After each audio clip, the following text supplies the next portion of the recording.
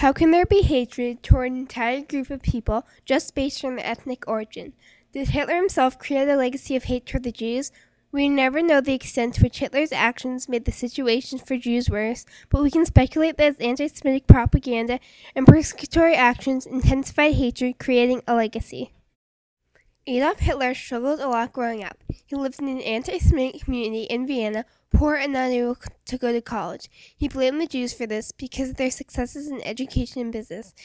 After World War I, Germany had many problems such as food shortages, economic struggles, unemployment, and illness. Communities were chaotic and unsafe. People also had an overall disrespect and distrust of the government.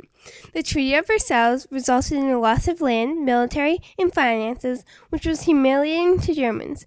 Germans were looking for a scapegoat to blame for their problems, and Hitler gave them one Jews. Jews became the target of Germans' anger. Between 1923 and 1924, Hitler wrote an autobiographical manifesto called Mein Kampf or My Struggle. In his book, he discussed his political beliefs and visions for Germany's future. In Mein Kampf, Hitler used social Darwinism to support his views that a stronger people, the Aryan race and Germans, should have supremacy over the subhuman or inferior race which he considered the Jews. Hitler used Darwinism theory to influence people that there was scientific evidence to support the elimination of Jews. In Mein Kampf, Hitler glorified the use of war to separate the weak from the superior, all of these ideas and propaganda became the blueprint for how he would move forward in his quest for world domination and the annihilation of the Jews. People loved Hitler's leadership and direction. When Hitler became chancellor, he made multiple speeches in many different cities promoting his anti Semitic beliefs. In 1933, the first concentration camp in Dachau opened. People began boycotting Jewish shops and businesses. Laws were enacted that did not allow Jews to work in state services or at universities. Hitler enacted the Nuremberg Laws of 1935, which said that Jews could no longer be citizens and many rights were eliminated, like marrying non Jews. The Nuremberg Laws also sparked the Night of the Broken Glass. In two days, many Jews were killed, synagogues were burned, and over 7,000 Jewish owned stores were broken into. About 30,000 Jews were arrested and sent to concentration camps. Hitler made life unbearable for the Jews so they would leave the country. However, once many fled Germany, Hitler invaded other countries like Austria, Czechoslovakia, and Poland and continued to spread his anti Semitism to those countries. As World War II started, Jews were ordered to wear the Yellow Star of David so they could be recognized and targeted. They were ordered to live in ghettos or sent to concentration camps. They were forced into slave labor and starved. Some had medical experiments conducted on them. At extermination camps, prisoners were herded into gas chambers and killed. The largest concentration camp was Auschwitz, where an estimated 1.1 million people were killed. The hatred of Jews was encouraged, and people were promised a better life and stronger Germany as a result. By 1942, Hitler created his final solution plan, which detailed the mass extinction of all European Jews. In 1945, Germany surrendered to the Allies. Hitler commits suicide in 1945, but his death did not end the hatred toward the Jews. His legacy lives on in the destruction he created, along with the consequences of his actions. The Nazis killed about two thirds of all European Jews, with about 1.1 million of them being children. But the losses to the Jews are not just in lives and population. They lost their political standing, finances, property, opportunities, jobs, and possessions. Maybe most importantly, Jews lost their families and dignity due to the hatred Hitler spread. But it is not enough to just focus on the anti Semitic sentiment in Germany, since some influential Americans also supported anti Semitism and even Hitler. For instance, Charles Lindbergh believed that Hitler was a good ruler. Lindbergh preached Hitler's views that the Jewish population had too much influence and power in the world. Henry Ford backed Hitler and even received a Nazi medal. He published 91 articles in his newspaper suggesting that a Jewish conspiracy was infecting America. Given his social status, many people listened to his rhetoric. Another famous person was Father Charles Coughlin, a well listened to radio priest. He publicly attacked Jews, saying that they had poor moral character and lacked patriotism. In one speech supporting Hitler and attacking Jews, Coughlin gave a Nazi salute and yelled, When we get through with the Jews in America, they'll think the treatment they received in Germany was nothing. Anti Semitic beliefs had existed in the United States before Hitler, but this propaganda spread across oceans to fuel hatred. In addition to influential people in support of anti Semitism, there was also many companies that supported the Nazi movement. For example, the DuPont company provided Nazis with military equipment.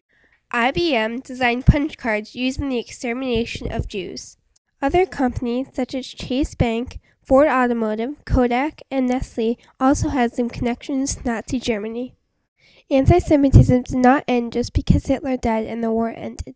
Jews were not welcomed back to their countries after the war. After years of anti Semitic propaganda, many still blame the Jews for their problems and suffering. Those Jews that did survive the concentration camps were often sick and stripped of their money, goods, homes, shops, and businesses. Jews returned to their old apartments and possessions only to find they were occupied by others. Between July and September of 1946, over 63,000 Jews arrived in Germany from Poland because of the massacres of Jews in Poland. In Belgium, surviving Jews were not eligible for any public aid. German refugees in Belgium were told to return back to Germany. The Jews who returned from the Netherlands were not welcomed back. 1967, Poland had a lot of political unrest with much public belief that policy failures and other problems in Poland were due to the Jews. They were discriminated against in politics and academic institutions. Between 1968 and 1969, 2,000 of the remaining 3,000 Jews fled Poland. In 1972, during the Olympics in Munich, 11 Israeli Olympic team members were taken hostage and killed by a Palestinian group. German neo Nazis provided assistance to these attackers. Despite many disagreeing with the Holocaust, people were still prejudiced against the Jews. Eventually, the Jews' safest option was to depart for Israel or America, or to be silent and hope to be invisible to prevent discrimination or persecution. The State of Israel was created in the Middle East in 1948 so the Jews displaced by Hitler could have a safe homeland. However, this caused troubles throughout the Middle East, which are still going on today. This shows that although Hitler was gone, his influence on people's views of the Jews is still evident. Uncertain how much of the current anti Semitism is a direct result of Hitler or due to the years of prejudices. A survey conducted between 2013 and 2014 shows that 1.9 billion people in the world still have anti Semitic attitudes. According to one poll in Poland, more than half the Polish youth visit anti Semitic websites that glorify the Nazi era. In Germany, Jews to gas was chanted during an anti Israel demonstration in July 2014. On July 15th, the Jewish Cultural Center in Argentina was vandalized with a swastika inside of a Star of David. In Australia, six teenagers boarded a bus of Jewish children and screamed Hail Hitler and Kill the Jews. There are anti Semitic organizations in the United States that preach Aryan white supremacy, one of Hitler's basic tenets. Some of these include the KKK, the neo Nazis, the Liberty Lobby, the National Nazi Party, and skinheads. These groups have different ways of promoting their anti Semitic beliefs and spreading Nazi propaganda. These examples illustrate the lingering prejudice that still exists against the Jews. As we approach the 70th anniversary of the end of the Holocaust, many feel distant and detached from Hitler's regime and the extermination of Jews. But his influence is still present, and Jews are still affected by the prejudice fostered by Hitler. Was Hitler responsible for all the current hatred? No. But did he entice more hatred and worsen the struggles for Jews?